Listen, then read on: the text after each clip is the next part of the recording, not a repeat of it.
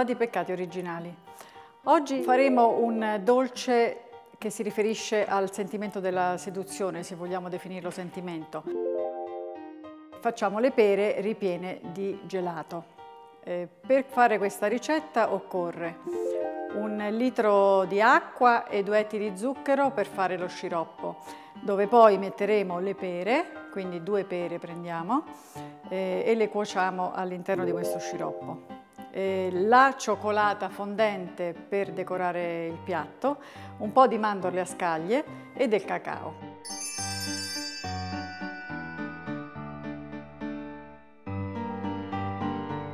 Teniamo gli ingredienti che ci occorrono e iniziamo la nostra ricetta.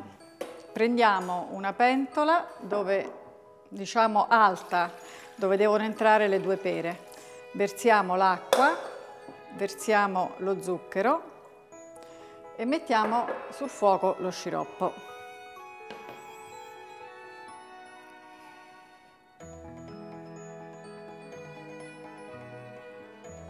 Ecco qua. Quando l'acqua bolle noi inseriremo le pere che nel frattempo andiamo a sbucciare.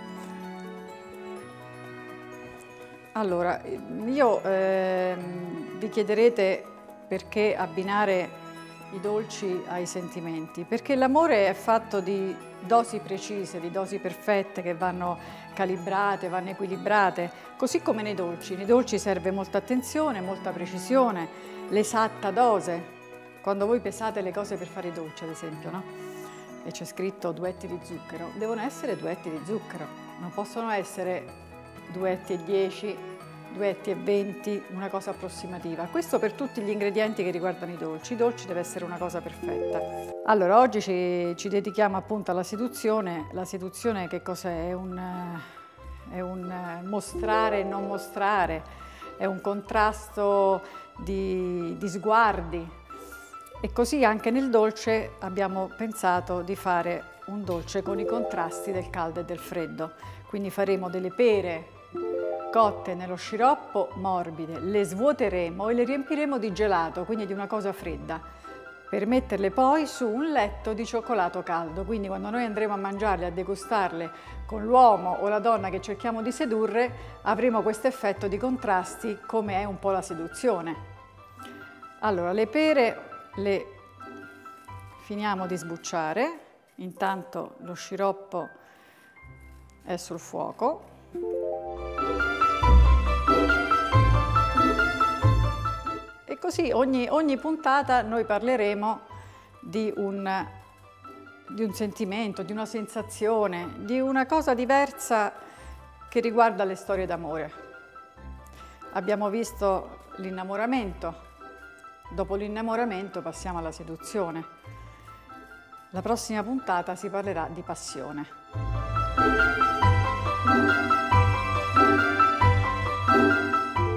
Le pere, potete usare delle pere, se le trovate, le pere Williams, altrimenti prendete delle pere che abbiano comunque sempre una forma regolare, non troppo mature perché bisogna cuocerle, Vedete un po' quello che trovate secondo la stagione. L'acqua è giunta ad ebollizione, diamo una mescolata così sciogliamo bene lo zucchero. Ecco qua. A questo punto immergiamo le nostre pere.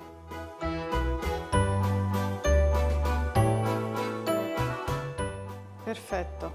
Le pere dovranno stare circa una ventina di minuti. Eh, ovviamente bisogna tenerle non sfatte, cotte lo, lo, misureremo poi con uno stecchino quando eh, va bene la cottura perché poi noi dovremo svuotarle. Le pere le abbiamo messe a bollire, aspettiamo che cuociano, ci rivediamo tra una ventina di minuti. Abbiamo fatto freddare le pere nel nostro sciroppo, le abbiamo tirate fuori una volta fredde, vi faccio vedere la consistenza. Vedete lo stecchino entra ma anche con un po' di difficoltà. Questa è la cottura perfetta delle pere.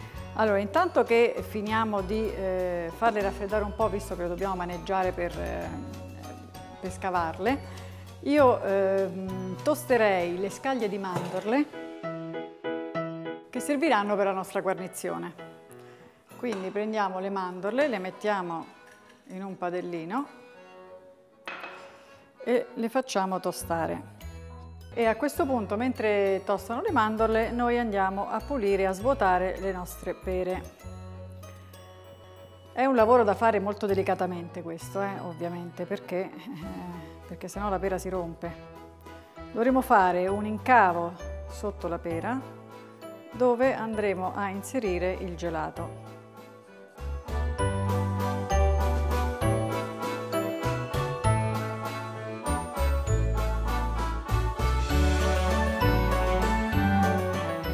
Potremmo aiutarci anche con un cavatorsoli, che è questo qui.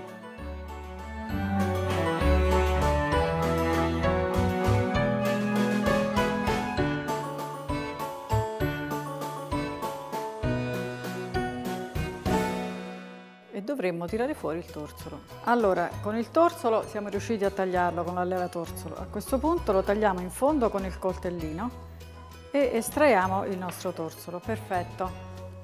Allora, questa è la nostra pera che adesso andremo a riempire. Prendiamo il gelato.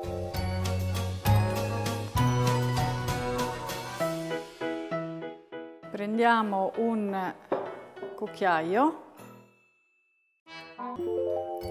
una volta che la pera è riempita, così, rimettiamo un attimo la pera nel freezer, perché il gelato ovviamente si squaglia così.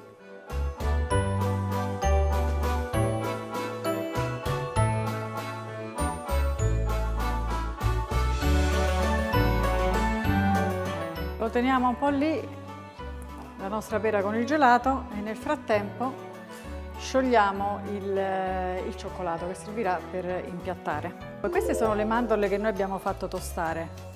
Mettiamole momentaneamente in un recipiente, le useremo dopo. Ecco qua. Prendiamo una pentola dove andremo a mettere il cioccolato da sciogliere. Aggiungiamo un po' di panna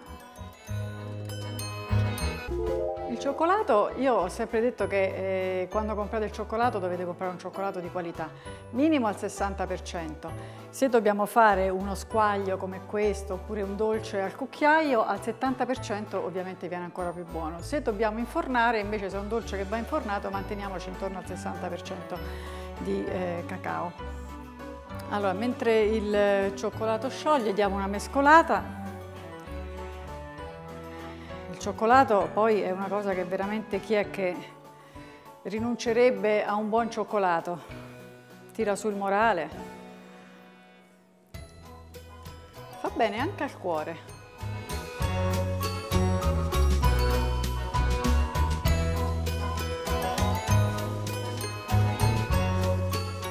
Il cioccolato si sta sciogliendo, nel frattempo prendiamo il nostro piatto per impiattare il dolce. Il cioccolato si sta sciogliendo. Oh, una cosa importante che non vi ho detto è quando mettete il cioccolato con la panna dovete metterli insieme. Non pensate di cominciare a sciogliere il cioccolato e aggiungere poi la panna perché diventerà una massa unica di cacao che non si scioglie più.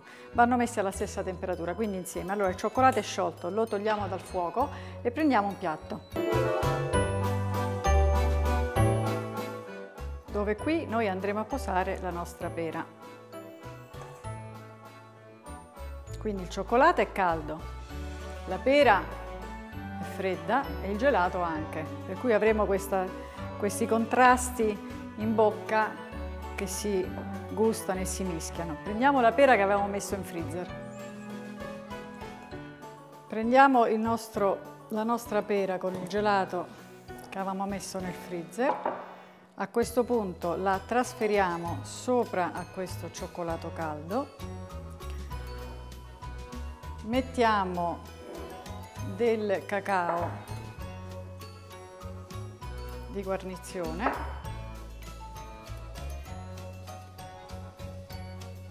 così e finiamo con delle mandorle in scaglie che abbiamo tostato precedentemente. Noi ci vediamo alla prossima puntata, vi lascio con questa pera ripiena di gelato.